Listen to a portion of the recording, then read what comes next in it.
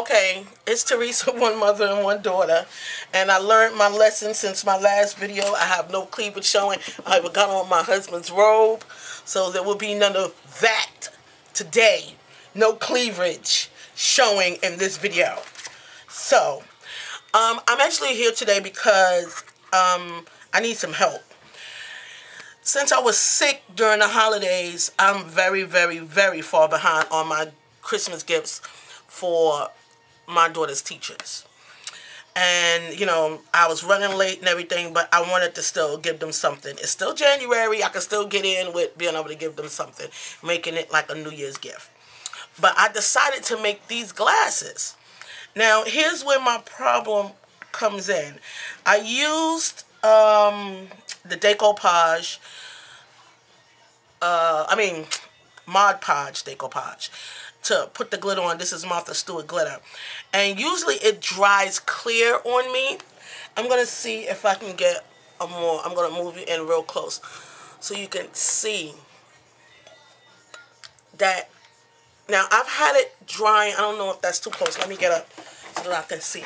I had it drying. Yeah, you can see that for days and days. But this is a good angle. Let me just try to hold that. You see right there? It's like white spots. And I thought it would dry, but it's not drying. Well, I mean, it's dried, but it has these white spots all over it where it looks like it's not drying. And I can't give that to anyone like that. That look, see, that's a better shot. That looks so crappy. So this is where my question come in. Let me move you out. I need to know if anybody can help me. What can I use to put this glitter on? Now, I've dried them in between the layers. Um, I put three layers of glue on. I mean, three layers of the glitter. And in between each layer, I let it dry.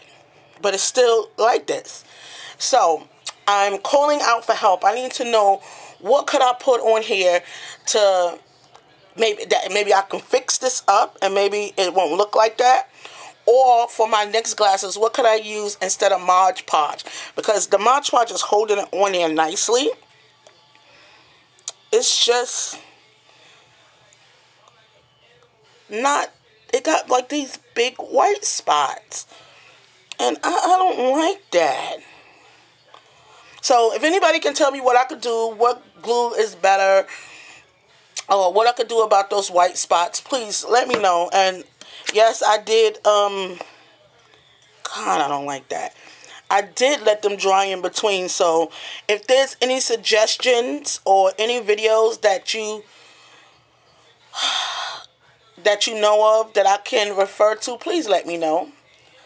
Okay, um, yeah, I think that's cute. I mean, they turned out cute if it wasn't for that that white spot. But anyway, please let me know. Thanks. I'm thanking y'all in advance because I may not be able to um how you call it like answer every message since they keep changing uh YouTube. But please, please, please let me know. Thank you.